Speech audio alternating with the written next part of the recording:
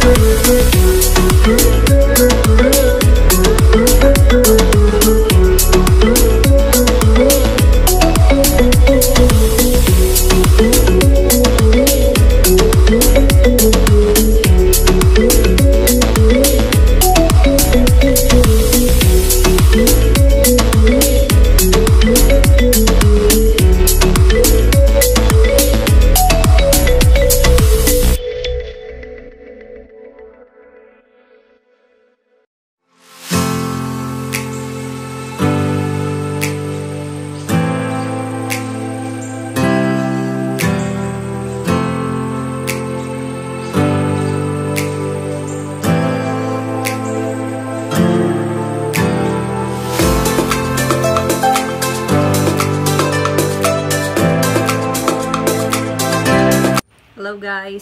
So, as you can see in the video that you've watched, gumamit ako ng balloon chain.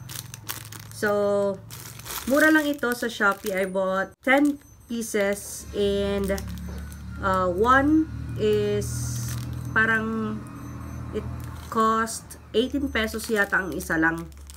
So, I bought 10 and it was my first time to use it dito sa video na ito.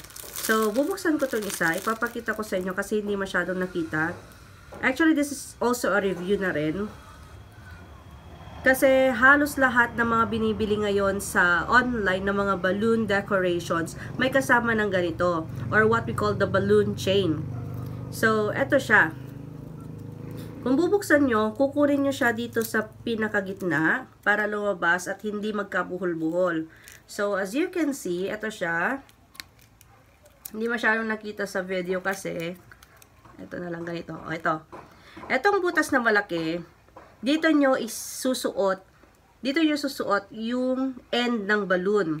Tapos, hihilain nyo hanggang dun sa pinagtalian, then, hilain nyo papunta dito sa maliit.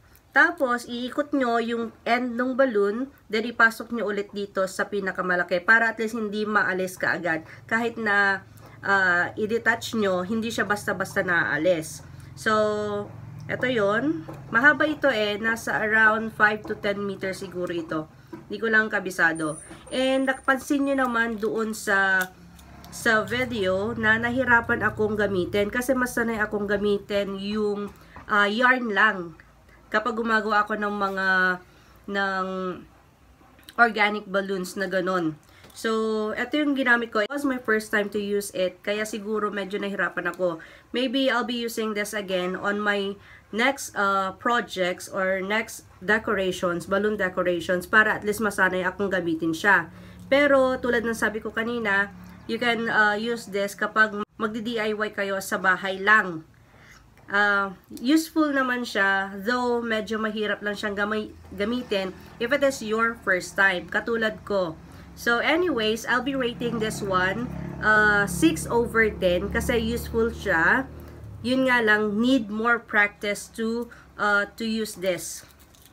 Kapag na-practice na, and it will be very easy for us to put the balloons in this.